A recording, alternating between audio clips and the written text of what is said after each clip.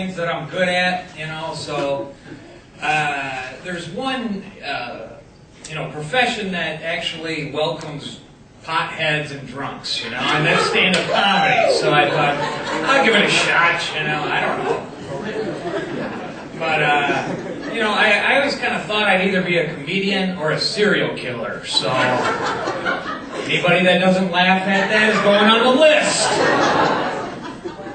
See you out there. I'll follow you home. Where you live. Oh, my grandma found out that I lost my job. She's a real nice lady and everything, and she uh, come over and she brought me some of my grandpa's shorts. They didn't fit him anymore, you know. And she goes, "I brought you these shorts. You know, I heard you lost your job, and uh, these don't fit your grandpa anymore. And I thought you could use them, you know." Like I said, she's nice, and I thanked her and everything, you know. But in the back of my mind, I'm thinking, "Oh yeah, how am I going to pay my bills with used grandpa shorts?" You know. Am I going to stuff them in an envelope and write Verizon Wireless a letter? Dear Verizon, please accept these shorts as payment. My grandma said my grandpa only wore them a couple times. She paid ten bucks, so I thought if you could give me like five towards, you know, my balance, that'd be cool. Thanks, Verizon. Oh, you know. I think uh, of all the jobs that are out there, though, you know, and high-paying jobs, low-paying jobs, I think one of the worst jobs, regardless of pay, has got to be sperm counter at one of the sperm banks. You, know? you got your college degree and your microscope, and you're sitting in your cubicle, and you're just sitting around with a bunch of jizz, just counting all day. 797,958, 790,959, so on and so on. Thank you, Grand Rapids. I'm Bryan Scott. You guys rock.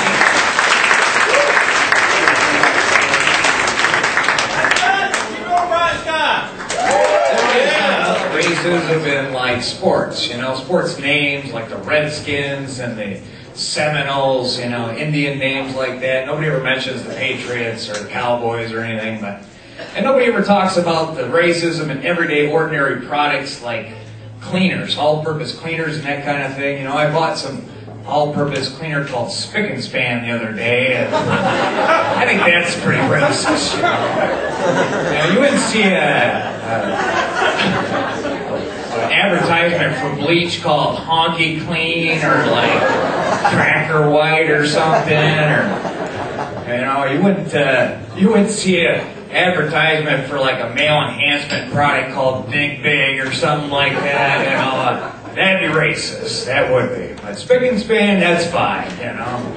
And, uh, I went out with this Eskimo girl one time.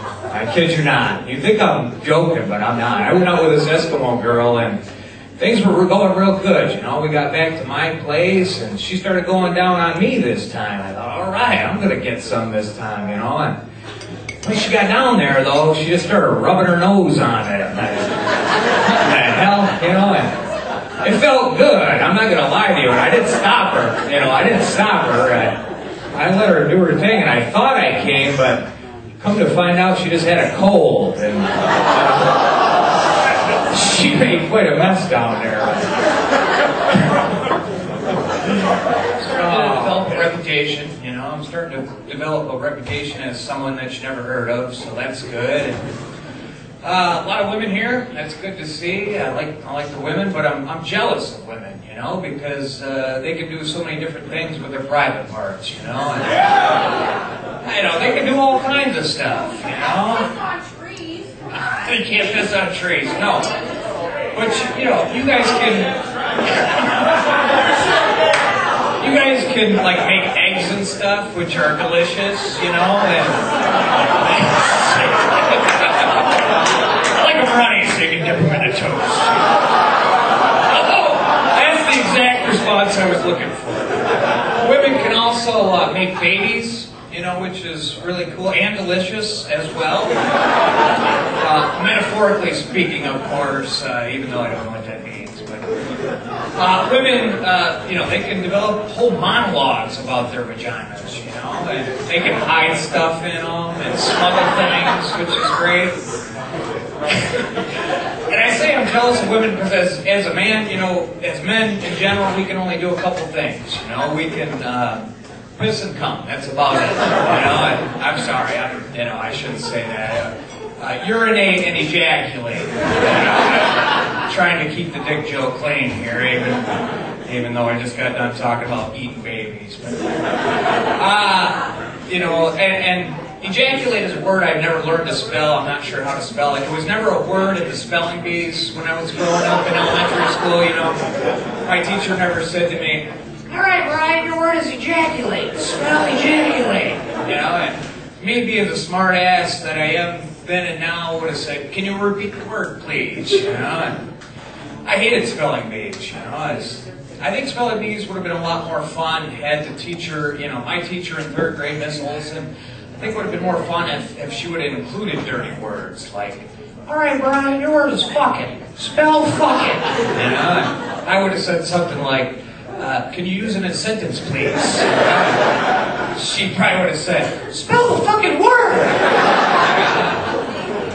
But uh, getting back to my original premise that, um, you know, uh, uh, I forgot what the hell. Musical penis. That's right. That's right. I wish I could do more with with with my penis. You know, because you know I think like playing music would be cool. You know, because for one, it'd be easy to learn how to play it because you got your hand on it all the time. You know, and, uh, you know. Plus, it would be totally cool when you're getting like a blow job. You know, you could you could request songs and stuff. oh yeah, baby, that feels good. Uh, can you play Freebird again? That's my time. I'm Bryan Scott. Enjoy the rest of the show. Bryan Scott, he's a good friend of mine. Let's get over Bryan Scott.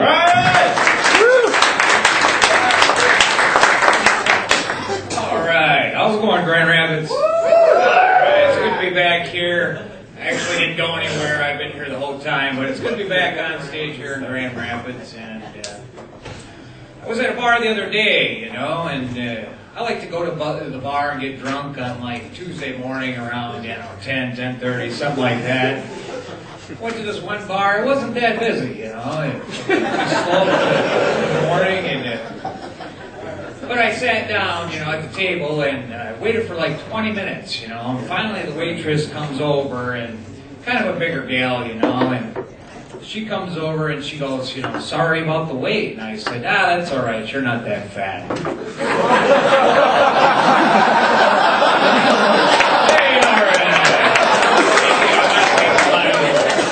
my own distillery, basically, my own house, and uh, distilling my own vodka. And uh, when I come out with my vodka, you guys can all try it.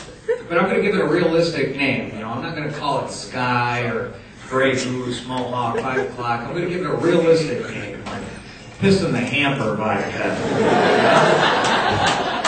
and our slogan's going to be, if it's not Piss in the Hamper, then what the hell is it? A lot of my jokes start out with I was at the bar this one time.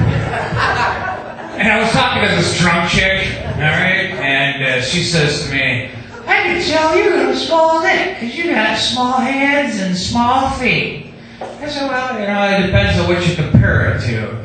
She says, like what? And that's a perfect impression of her. I don't care what you say. And she says, like what? And I said, well, if you compare it to your huge pussy, then yeah, it probably would look kind of small. kind of like if you, you know, take a telephone pole and you throw it in the Grand Canyon, you know? Nobody's really going to notice that.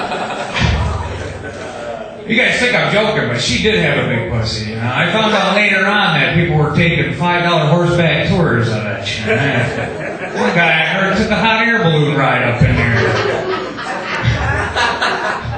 I'm not one to spread rumors, but I heard Osama bin Laden might have been hiding out there for a while.